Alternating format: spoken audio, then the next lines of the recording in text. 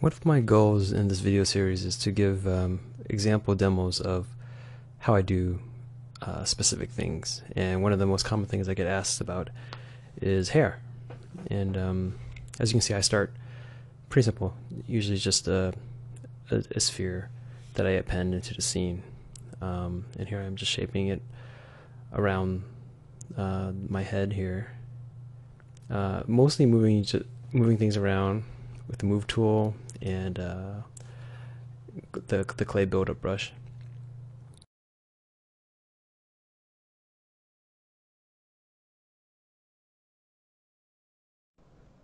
One of the things I wanted to talk about uh, was how to create inorganic shapes, such as armor.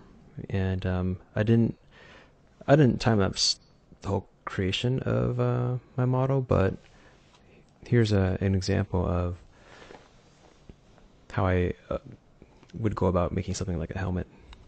You see, I, I start with, again, start with a pretty simple shape, such as a sphere, and I shape it to the head, or the body, as whatever the case may be. And um, right away, you can see right here, I'm I'm trying to establish changes, um, uh, planar changes on the on the helmet. Uh, in I think a lot of armor, it it can benefit from this because it adds a, a little bit more interest to how the light catches on the surface. Um, I'm going to end up removing this on the front of the helmet later, but um, to begin with, I think it's a, a, good idea to block that out sooner rather than later. And here I'm I'm drawing out the basic shape of the helmet. Um, it's uh, I'm not really following any particular reference at the moment. Um, just kind of wing this and and go about talking about how what what I'm thinking about as far as design goes. And this isn't going to be a full helmet. It's going to be more like just a a visor, I guess you would call it. And what I did there was I extracted my selection or my mask, and then I'm going to um, delete the hidden parts and Dynamesh it. And that's just a quick way of getting the the shape of the surface to match what I had masked. Um, you can see it's there's still a lot of internal geometry there that I'm not actually gonna bother getting rid of. I'm just gonna keep it there for now. And going around the edges, smoothing things out, and then beefing up the edges because you know you never want your armor, especially uh, metal armor to look like it's paper thin. And there I, I just Dynameshed it.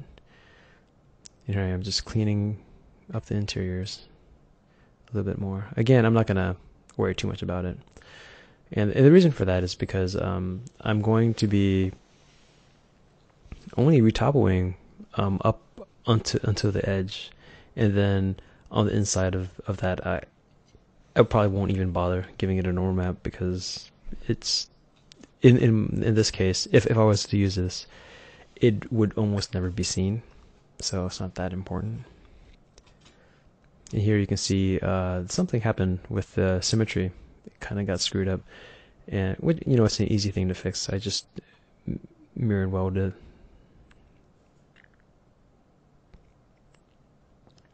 And here, this is, this is how I like to establish uh, layers.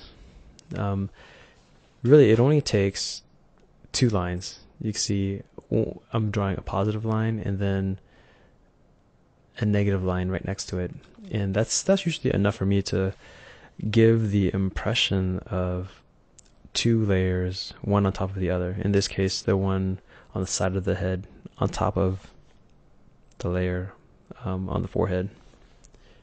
I mean, it's not as simple as that. I mean, you have to still have to clean up the the surfaces surrounding it a little bit, but um, just as a quick way to block things out, I think that's a, a pretty easy way to do it.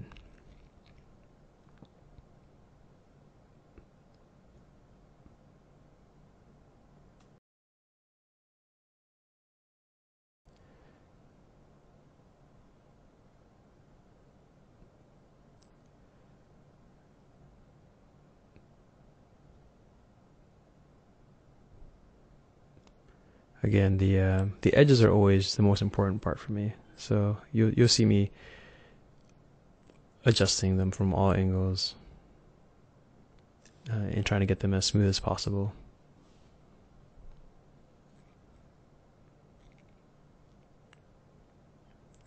And, and right here, I'm I'm adjusting this part of the helmet because I didn't want this surface to be so simplistic.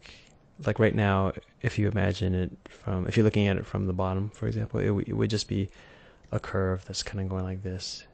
And I wanted to add a little bit more complexity to this curve so that it, it curves this way and then it also dips in right there. I think that's a, another important thing to to try to impart in in your shapes, just to don't have it be so linearly curved, if that makes any sense.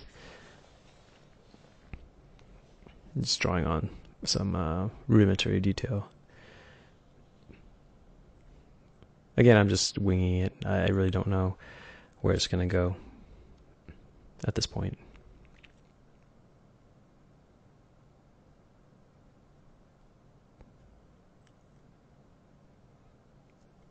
Here I'm experimenting with the forehead shape. Um, I think this kind of design, at least the first time I saw it, was uh, in the Valkyrie profile games, and uh, one of the characters had this a helmet with something like this, and I've seen it many times since then. But that, I think that was the first time I saw it, and I always thought it was really cool.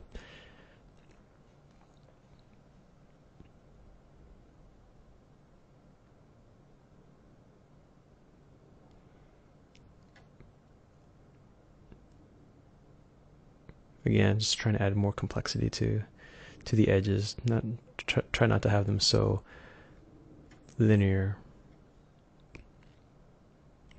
Well, not just linear, but not don't make the curve so simplistic. And here, um, before I started doing this, the curve here was going right up into here, creating this this tangent.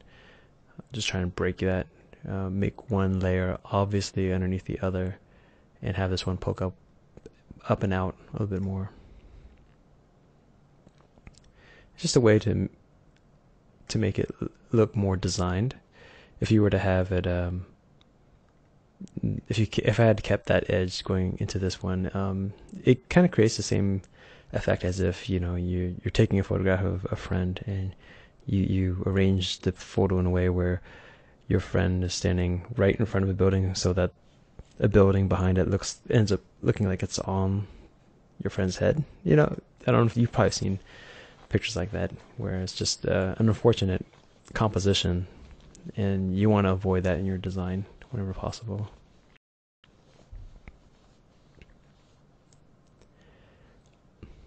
Trying to add a little bit more detail to the the front here, creating an, another layer. And uh, as you can see, I, I, like to work at pretty low resolution. Um, you can clearly see the, the polygons, and, and, that's perfectly fine with me. In fact, um, I prefer working at this for as, as long as I can, just to keep the surface really responsive. And it's, and it's easy to clean up too. Like you see all of these un, and all this unevenness on the surface. It's it's way easier to control it at this stage. And here you can see I, I added this these uh, rows of um, of layers, and uh, you know there's a reason why I I arranged it this way. You know when you're doing design elements like this, you avoid having them evenly spaced. If I had split this into to thirds, it would have given it a completely different impression. Um, here, there's more like a, a, hierarchy. There's one obviously big one, and then a medium, and then a smaller one. It just adds a, a little bit more of a progression to how you interpret the design.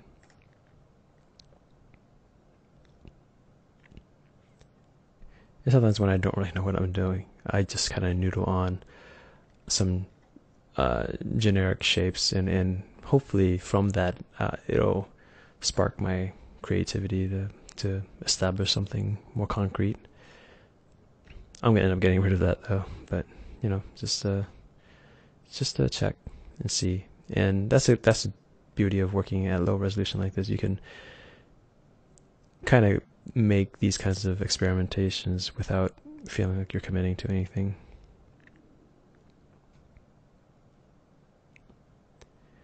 Here I'm just shaping uh, the helmet piece around the ear.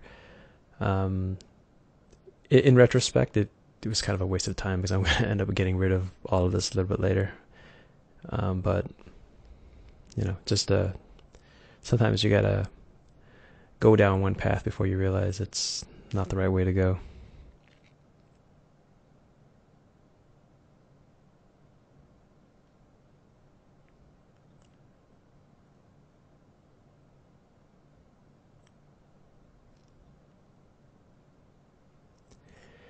And um, uh, I think you might have seen right there, I I drew a line um, with my fall off sharp brush with a pretty low strength, but with a pretty large brush, and that just helps me create a very quick and easy um, plane change.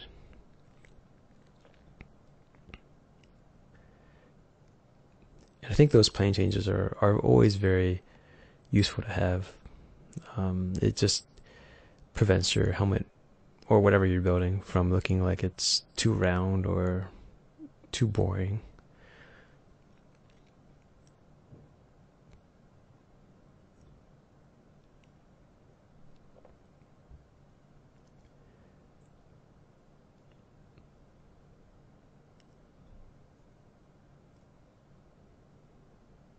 Right here. Um, you can see again I'm I'm starting my design by drawing it. And then what I'll do is I'll cut in in a way um, using the the line I drew as a, a border.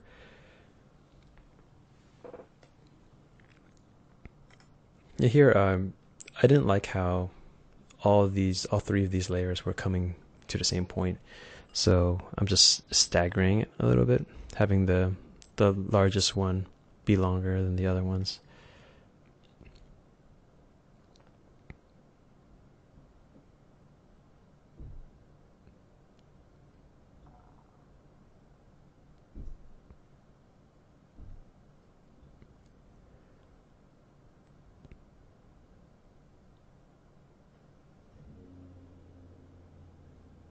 Always save your work.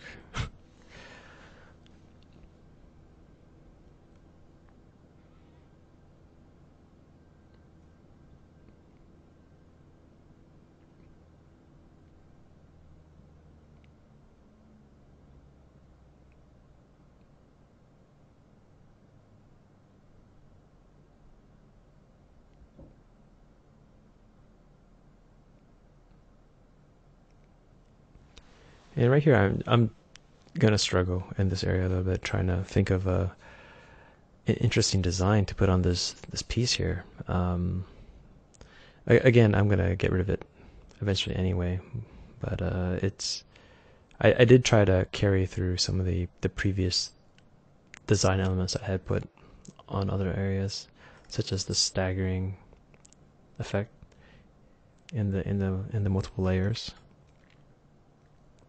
And that's going to happen a lot when you uh, work and you get a concept, but maybe you want to get a front view and then you have to make up something on the back. Just just trying to carry through elements that worked in the front view that were drawn out. Um, see what you can do with that, and putting it in the back, and, you know things like that.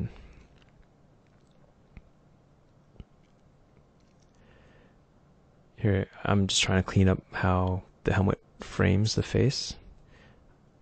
I definitely think it's very important to think of, especially with a helmet with an opening that shows the face. You want to see how it, how the face sits.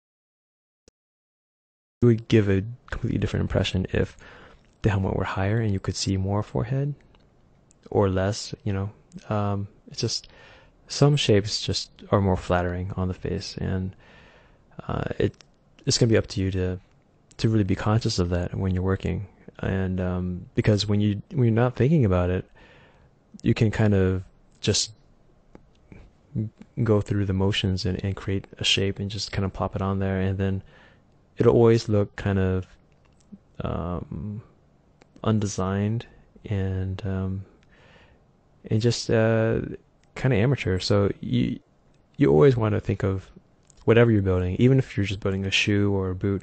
You want to think about how it fits onto the character as a whole because any weakness that um, comes about, especially between two different objects, um, it'll bring down the whole piece.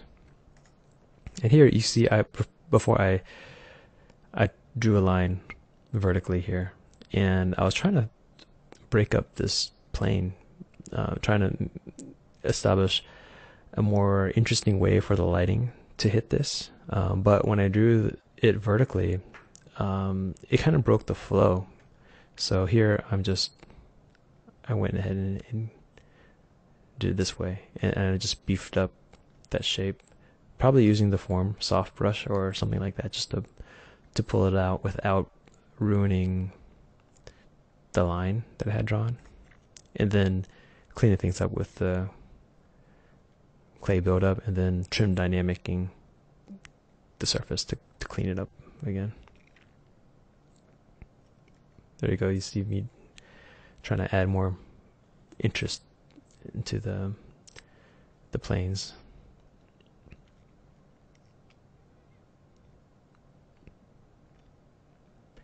And at, pretty soon I'm going to need to think about what kind of design to put on the front of the helmet. It's just uh, a little bit too plain at the moment.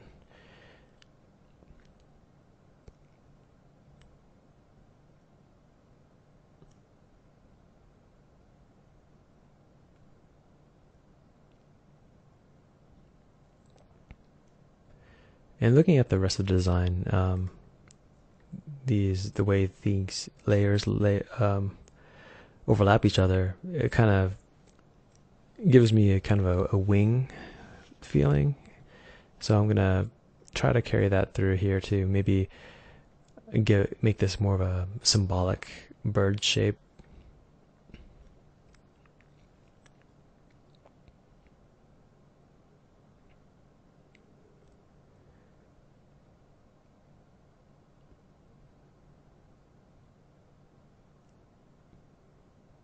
There you can see I got rid of that the plane change in the middle there. It was kind of distracting. I thought it might be better if it was just a, a rounded surface.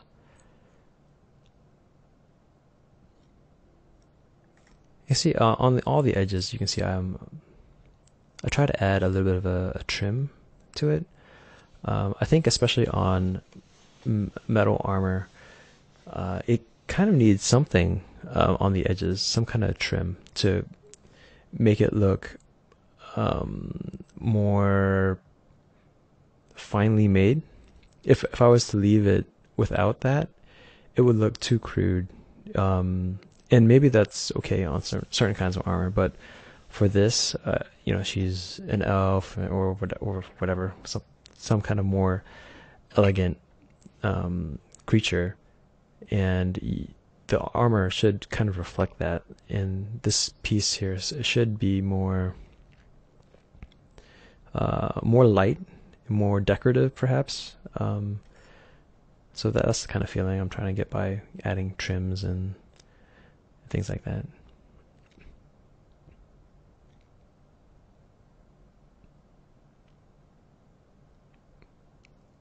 And again, this is the surface is very low resolution. So I'm not going to have uh, too much to work with as far as detail, but that's fine. I just want to block something out and make sure it works at this stage before committing to um, it uh, at a higher resolution. Again, adding more trim.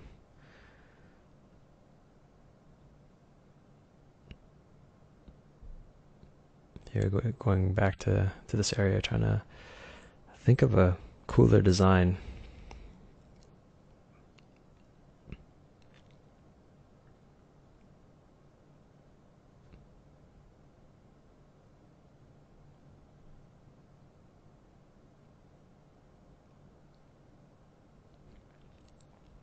You know, as interesting the thing to talk about was just what what exactly is cool. Um, it's one of those things that a lot of people know when they see it, but when it comes to actually doing it yourself, um, you know, it can mean a lot of different things uh, to different people. So uh, I think it's just a matter of experience um, and how how how closely have you pay, how have you paid attention to things that you think are cool um, as far as design goes. And um, growing up you know you develop a a visual library of things that you think are cool. Um, and you know the the more of that you you paid attention to throughout your life the the better you will be at coming up with designs that you yourself think is cool. And I, mean I don't know if anyone else thinks this is cool. Um, it's just something I'm I'm winging at the moment, but um, you know, it just has a design language that um, that I personally like.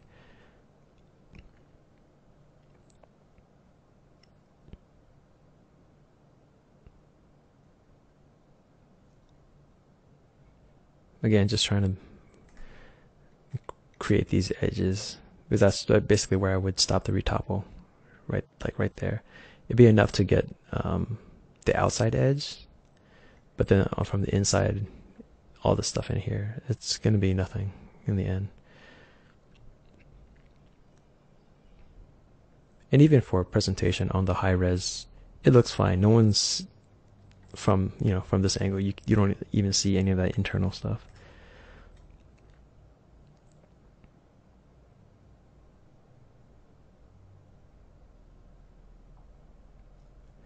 You know, looking at your model from all angles, just trying to make sure it's it's reading right.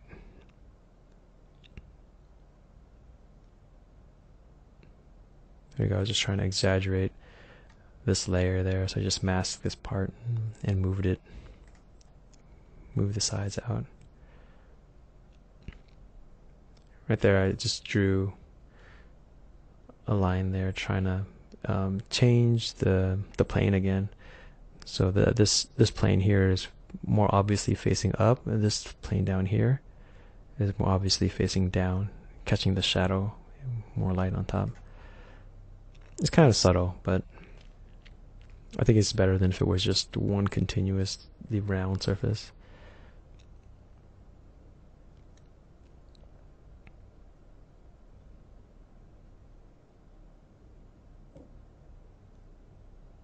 You see how I kind of move things and undo it, just just to to see if it would look any better. Just take some chances once in a, once in a while. And right there, you can see I I indented right there, and that's just because when looking at it from a distance, I thought that um, there wasn't enough contrast in here. Um, but you know, I don't want it to be overpowering, just enough to um, add a little bit more visual uh, interest in this area. And you know, again, any kind of indentations or uh, any kind of uh, sculpting that you do is going to add some contrast, and you just want to be careful where you're putting that contrast and, and how much of it are you putting in there. Um, for example, right here, I can see from a distance that this is going to be a problem for me later. I think it's too strong, this contrast, and I'll deal with it in a few minutes.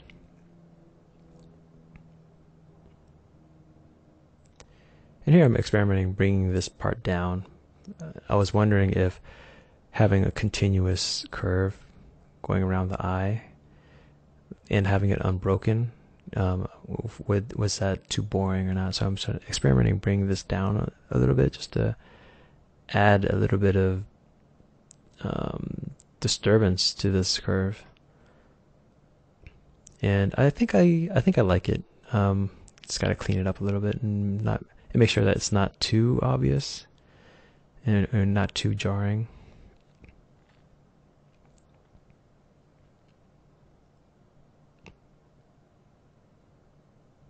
You see, I jump around on different parts um, as as I see um, problems come up. Um, I, I don't take any one area to full completion. Here I'm checking um, checking how this might look with certain hairstyles. I mean, none of those hairstyles were designed for this helmet, but but it did give me um, a fresh look, and I found out that I was probably bringing this out a little bit too far, so I'm locking it back.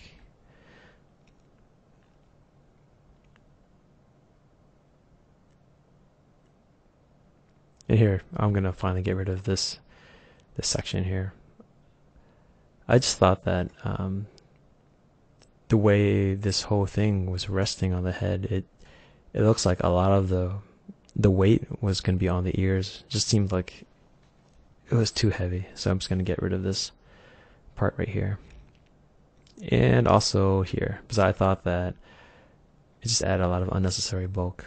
Um, instead of a helmet, at this point, I was thinking that maybe this would be more of a crown or tiara, something like that. Partly because I also didn't want to think of a design for the rest of the helmet. And similar to what I did before, I'm just gonna hide those pieces, those those areas, delete the hidden, and then close the holes or, or dynamesh it.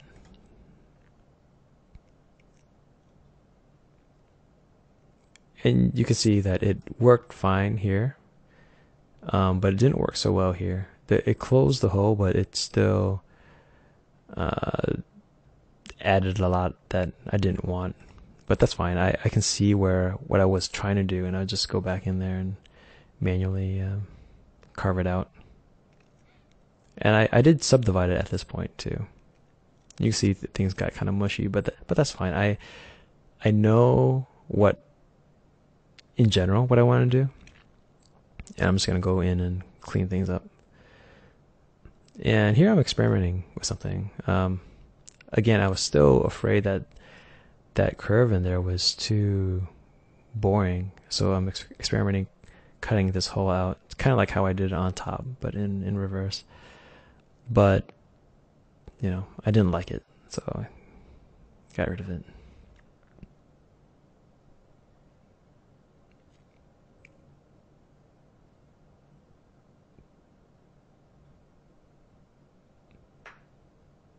And dynameshed it again there. And now I'm going to go into the more detail.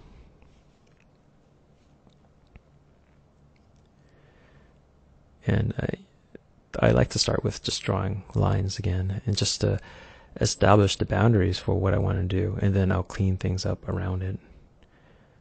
And right here, you know, I, as you can see the surface here, it, if you look at the profile of it, it would be very wavy, I guess I would call it um, there there aren't any cl- very clear distinctions between you know one shape or another, and that's kind of what I want to do at this phase. So what I did was I drew the lines in, but then I needed to clean up the transition so that you'd get shapes like this with more abrupt um, changes rather than things just kind of um, very smooth looking.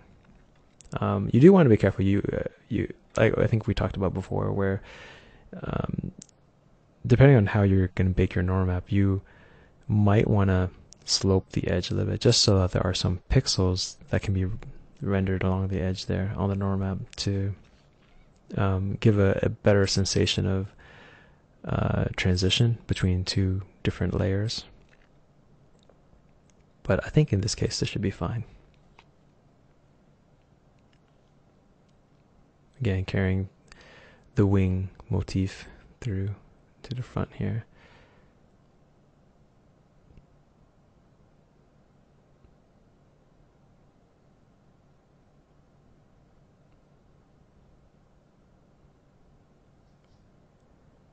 you can see um, I'm going from different camera angles all the time. Like I'll draw something in the front view, and then I'll go to the side view and make sure that um, the curve is working the way I want from that view as well.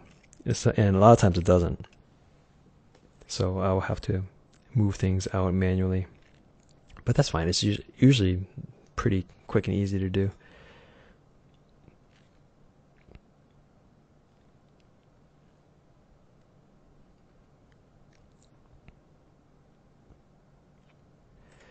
and uh, you know, I I think how you do your curves is is very important. Um, again, going back to the idea of um, reverse curves and how curves transition from one to the other. Uh, it it's all for at least for me. The way I like to relate it is back to um, line work and drawing, and I think the the way I personally measure how good an artist is is how sensitive they are to these kinds of flowing lines. Um, and similarly for in 3D, um, I think the better 3D artists tend to be more aware of these kinds of curves and working to get better curves. Um, I think a lot of amateur artists, they they'll kind of be ignorant of this and uh, or they just won't give it a lot of attention. And that's why their work might lack a little bit of uh, refinement.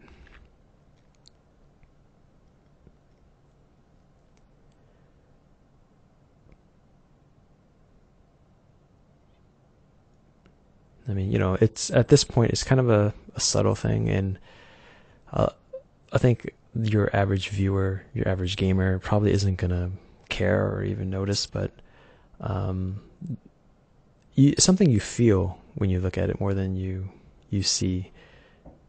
But you know, it's just one of those uh, extra things to strive for.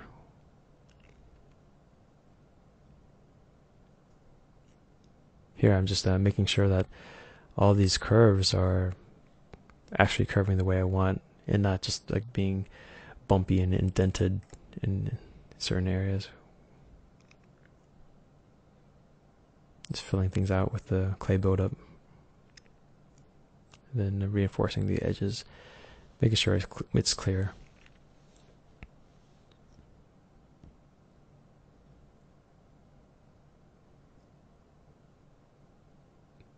Again, you see me spend a lot of time on on these edges just because you know the they are for me the most important parts of the design.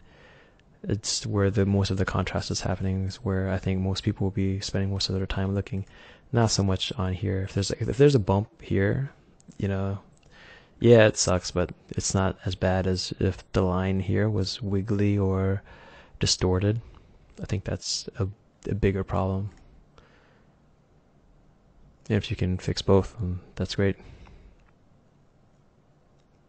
You're just using the trim dynamic brush, shaving things down to a, a finer point. I, I do avoid having things become too pointed. Um, I think, ironically, the the sharper you get a shape, the the less strong it is. Um, it and in a way, it almost seems less sharp, if that makes any sense. Um, it's like it's like when I'm drawing. If I was drawing this, um, if I was drawing a point, I would almost always uh, g- kind of add a little bit of extra darkness to the, that point, um, just to uh, give it a little bit more of a presence, so that you notice that there's a point there.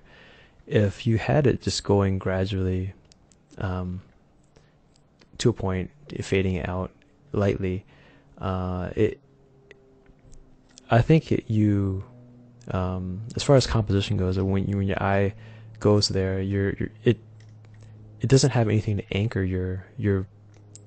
The it doesn't define any boundaries. I guess I'm trying to say, and the same thing goes with in 3D here. I, I think giving a little bit of mass towards the tip um, it just gives it uh, more of a solidity, and it, not only that, but it will render better on your normal map, or at least render more easily, I should say.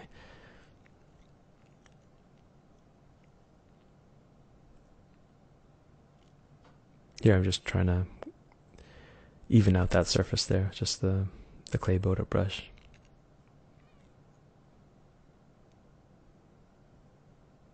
I'm, I'm making sure that these two things are clearly separate things. Like this is clearly a, diff a different layer than this one.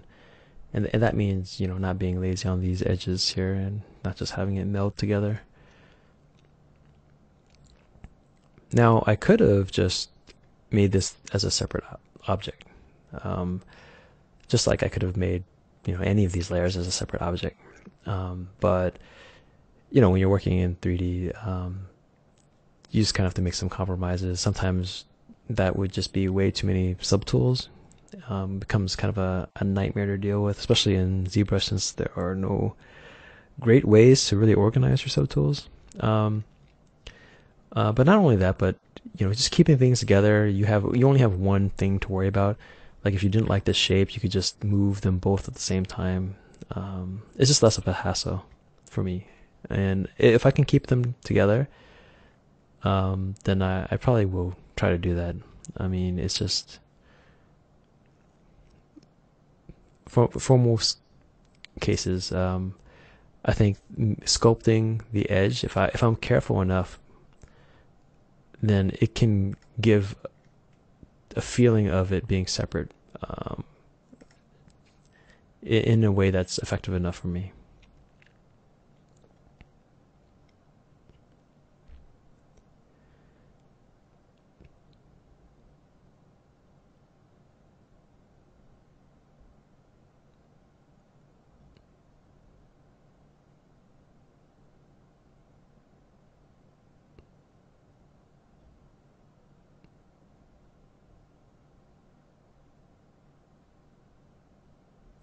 Again, you know, you could you could tell a lot about the surface just by looking at how it, the light is reacting to it. And um, there, the lighting was was pretty strong. The highlight was showing pretty strong, which was telling me that um, it was coming forward too far, especially since this layer is supposed to be on top of this layer on the bottom. So it wouldn't make sense if that highlight was stronger in a way than this highlight. So I just knocked it back.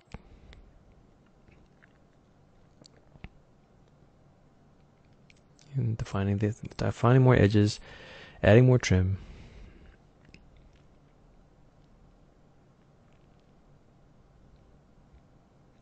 You see like the way I draw a line sometimes I mean this is a time lapse and sped up, but you can see it looks like I'm drawing it multiple times and, and really what I'm doing is I'm drawing it I don't like it, I undo it. And draw it again, I don't like it, I undo it. And I just keep doing that until I get in as few strokes as possible the shape that I like. Um, I think it's be- a little bit better to to do that in as few pos- in as few strokes as, as you can. The result is usually a little bit cleaner, I think, than if you were to use a lot of strokes. Here. I, I really don't know what kind of design to do. I'm just kind of drawing things out, and if I if I don't like it, I'll, I'll change it.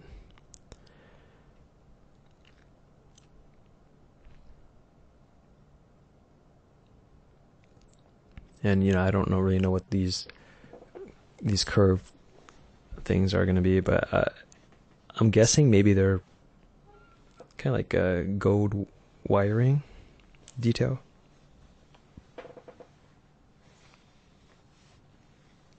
But you want to be careful how you're you're drawing it.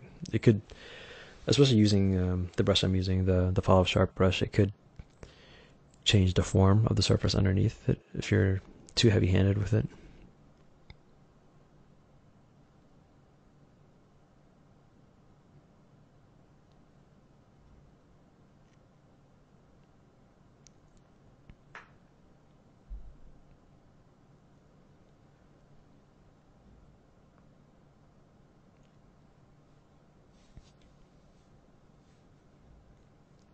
if you see uh, the video pause sometimes, and it's not because I'm talking, it's probably because in the video, a switch screens, someone's probably Skyping me or something like that.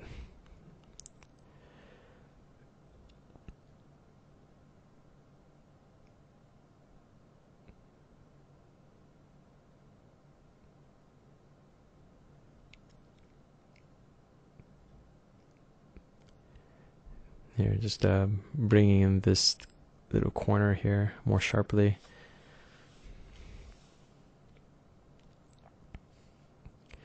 Those are kind of the most annoying things for me to, to do. Actually, just bringing in little corners and trying to make them look sharp.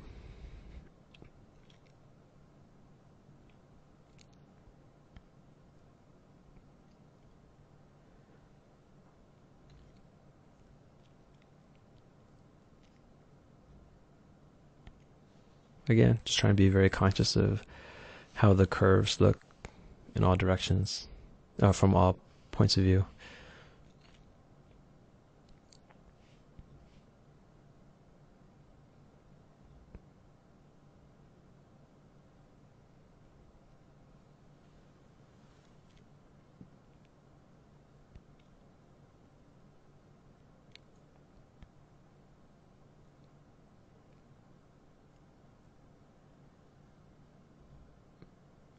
We spent uh, some time just build, clay building up the, the surfaces underneath, just trying to make sure that the form is right.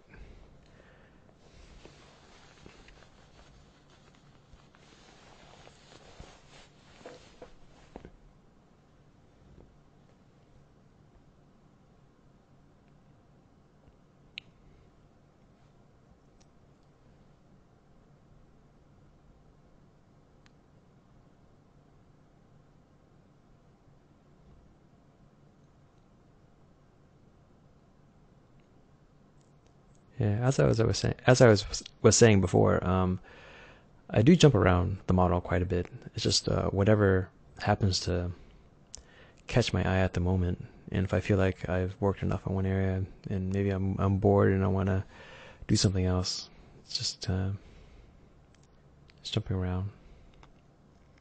I think uh, doing that, um, if you do that enough, eventually you'll start to find fewer and fewer things that bug you, and I think at that point you you'll know that you're close to finishing.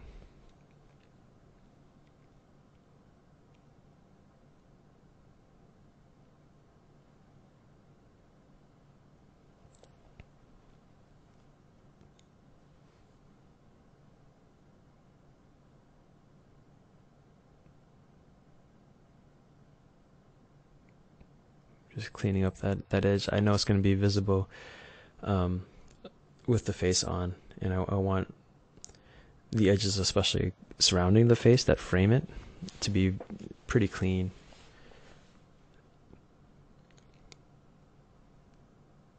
And again, you see I'm just clay building the surface up and then trim dynamicing it to to make it smooth again.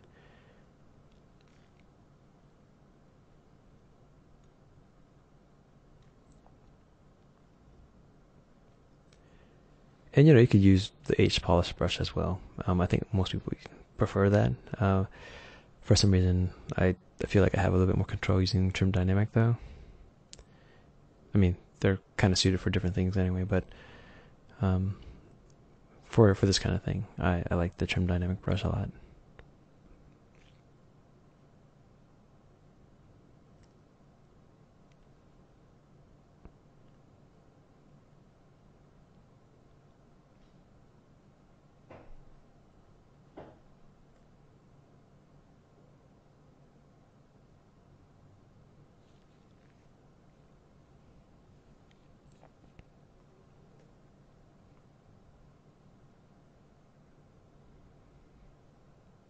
Here I'm just trying to make sure that these two layers look distinct from each other. I think that's a, a, very important thing to to keep in mind is how your layering works. Um, it should make sense, visual sense, um, and you know it's something that's pretty easily overlooked a lot of times. And when I see um, other people do do armor, but um, if it's not right, then it's just gonna confuse people. So spending a little bit extra time on that is always worthwhile.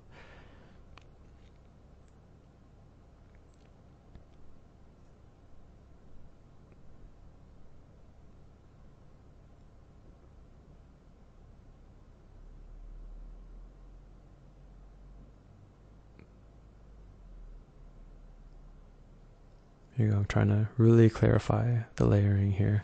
Make each layer distinct from the other.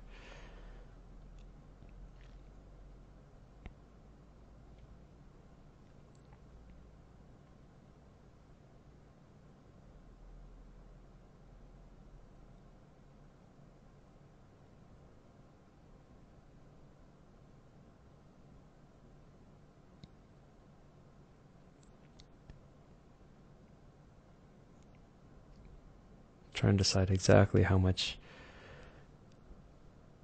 um, the surface should be indented there. I thought it was a little bit too much, so I just bowed it up again.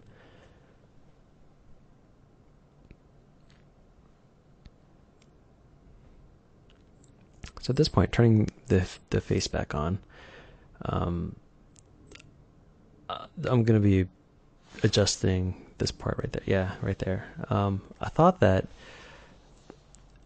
this over there's a if you look at the silhouette here, there's a overall curve here um, that I thought looked kind of boring.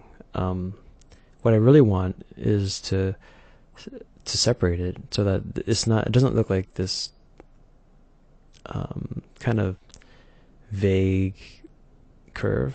Like I mean, if it was more extreme, more more of an obvious transition, then that'd be fine. But in, in this case, it's so gradual and so undefined that it almost looks like a mistake. So what I want to do is, is go more clearly in one direction or the other. In this case, what I'm going to do is I'm going to carve it like this, I think I'm going to do. Yeah. So I'm just drawing the boundaries and then I'm going to cut that part down. And this just makes it look more purposeful like like someone really designed it to be shaped a certain way and not just having things lining up by accident or anything like that.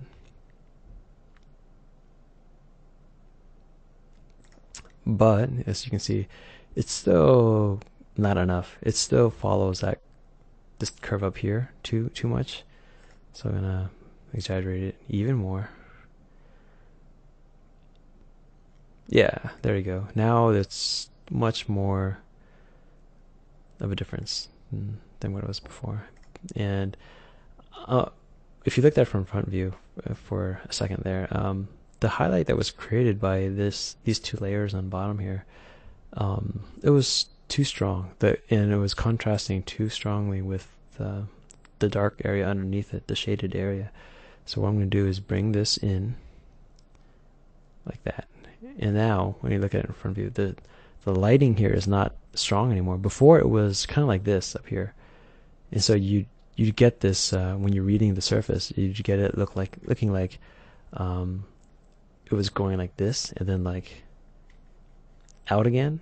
And what I wanted was just to it to go down and in, keep it the the, the value um, a little bit less. I mean, obviously, it depends on what angle you're looking at things in. If you looked at anything at a certain angle, it's going to be light, and that's that's fine. But that's not what I was after.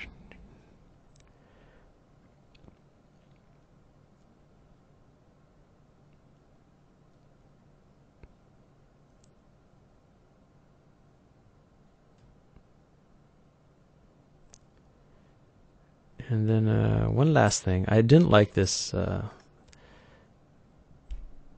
little divot here. It just uh, seemed unnecessary, so I'm just gonna remove it.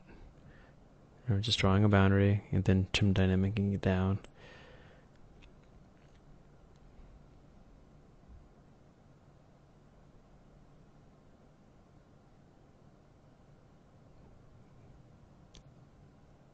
Then yeah, redefining the edge there. To finish off this helmet piece, I'd probably subdivide the mesh again and polish the areas that really need it. I'd focus on the details that need the most definition and clarity, because I think in general, most of it is reading okay the way it is. Uh, depending on the viewing distance in the game, you might not have to define very much. Uh, and remember that after a certain point, the size of your texture actually becomes a limiting factor on how much detail is really worth adding to your high resolution model. I sculpted this model, uh, but some people may prefer to model these kinds of things in traditional modeling applications using more precise polygon modeling tools. Um, this usually yields cleaner results, and in some cases, it can be a necessity depending on the art direction of the game. I personally think sculpting armor can provide perfectly acceptable results in fantasy games where the armor benefits from appearing more handcrafted and not quite so perfect.